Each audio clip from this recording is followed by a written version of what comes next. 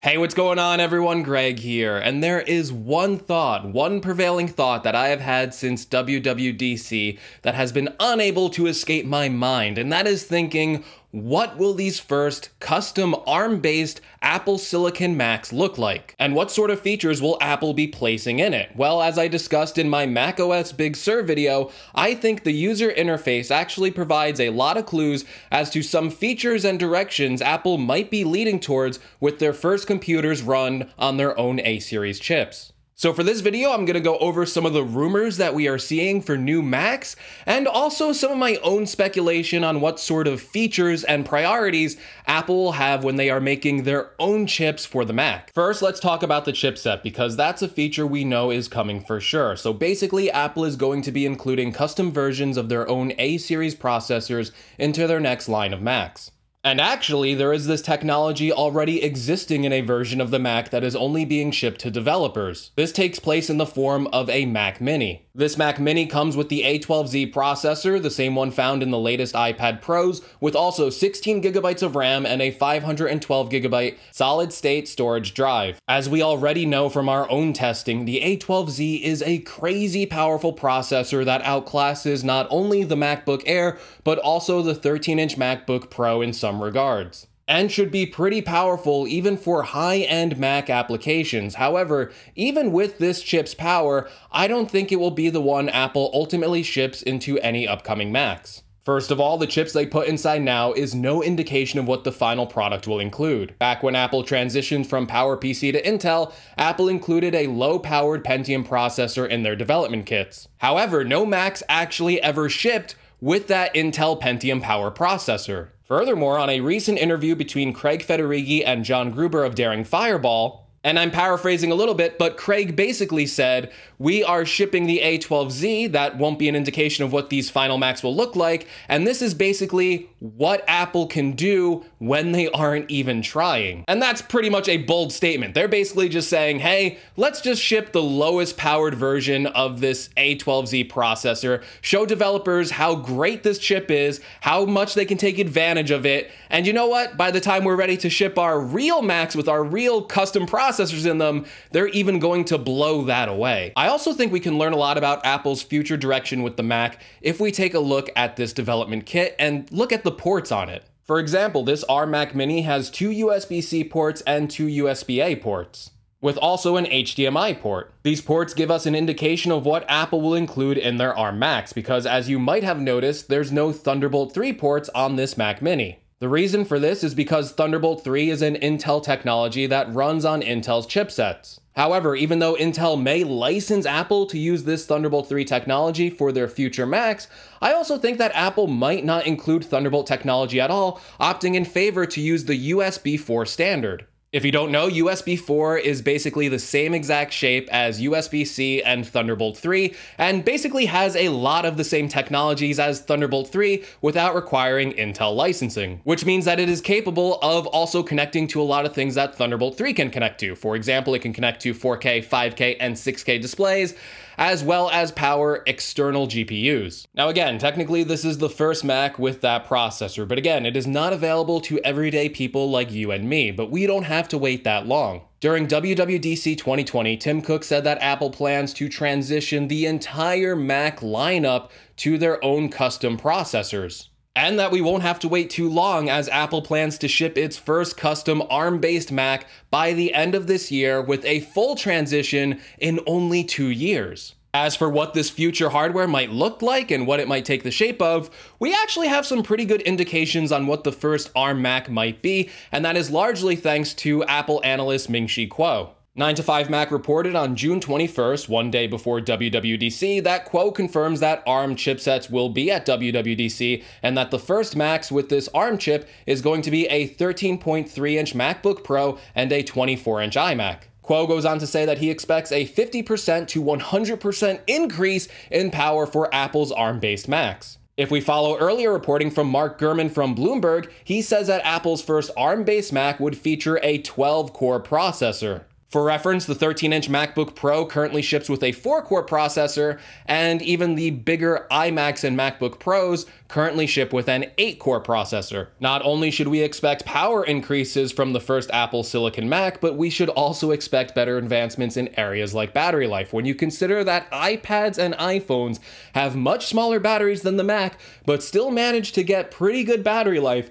you can imagine that it's not unreasonable to think a Mac will get at least 50%, if not 100% battery gains as well. This could result in a Mac that has multi-day battery life, so we could see increases going from what Apple claims to be 10 hours of battery life to 20 hours of battery life. Not only would battery life improve, but imagine the thermal performance that Apple will be able to get out of their own custom A-series chips.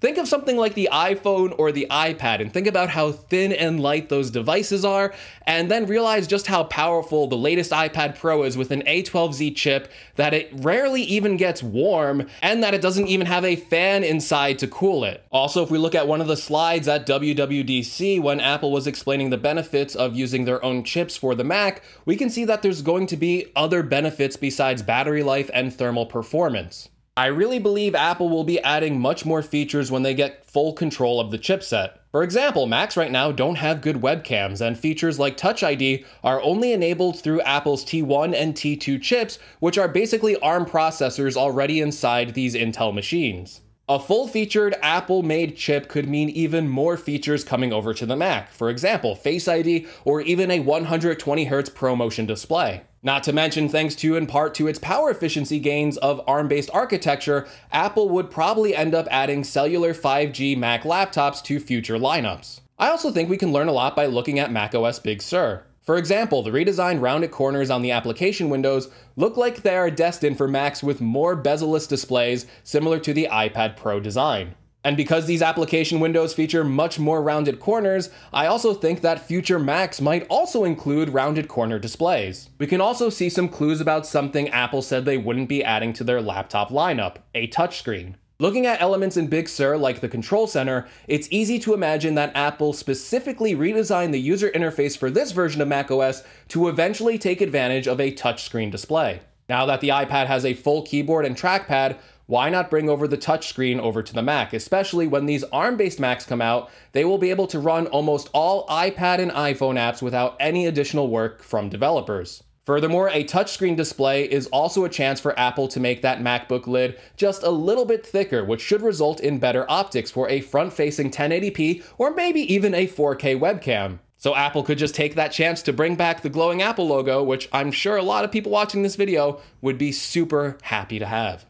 Apple might also be able to make their Mac laptops cost less. Apple pays a lot of money just to get those chipsets from Intel, and with Apple making their own chips, they don't have to pay anyone else to make them. So Apple could not only save money by using their own chips, maybe resulting in even lower cost MacBooks, but they could also take the money they're saving from buying those Intel chips and then incorporate some of those other features we talked about, like Face ID or a 120Hz display. Now, taking all that in mind, what will the first ARM Mac be? Or might there be multiple at once? Now, the obvious target for the first ARM based Mac is, of course, Apple's laptop lineup. Apple's laptop lineup far outsells their desktop lineup and is the most popular Mac with consumers. Kuo even states that a 13.3 inch MacBook Pro would be the first device running on Apple's ARM processor. However, I think that might not be the only one we see launched. Now, we are still expecting an iMac redesign, and Tim Cook did something kind of unprecedented at WWDC when he said that Apple is going to still ship an Intel Mac later this year, and that they would ship the first ARM based Mac by the end of this year. Lots of rumors say the new iMac is already ready to go, and there's rumors of a redesigned 24 inch bezel-less iMac with a bezel redesign and design language similar to that of the iPad Pro. As strange as this might be, Apple may have this iMac all ready to ship with existing Intel processors. However, I also think that even if Apple manages to ship this Intel Mac soon, I also think not only will we see the first ARM-based MacBook by the end of this year, I also think that Apple would be bold in this chip transition and eager to show us just how powerful their chips can be when unconstrained by battery life or the thermals inside of a laptop. Making a big splash with a desktop class ARM processor, something we really haven't seen quite yet, would be a huge moment for Apple, not only to introduce a more powerful mobile laptop option, but saying, we have the best computer chip in the world, beating out the likes of Intel and AMD. Apple changed the computing world with the original iMac, and it would only make sense to have that ARM iMac ready to go to introduce us to the next transition. That's why I think the first ARM Mac won't just be one Mac, it will be two Macs introduced in the form of something like a 13 inch MacBook Pro and also a redesigned iMac. That would be the boldest move for Apple to do to show that they are ready not only to replace their mobile division, but also really ready to replace their desktop class processors. And if we've learned anything about Apple from this WWDC 2020 presentation, they are really bold with that two year timeline. But anyway, I want to know what you think. What do you think the first ARM Mac will be in Apple's laptop lineup? And also, what sort of features do you think it would have? If you like this video, make sure you give me a like. If you want to see more from my channel, make sure you're subscribed. If you want to help the channel out in any way, make sure you check out some of the links in the description. And as always, thank you so much for watching, and I will see you all in the next video. Take care, everyone.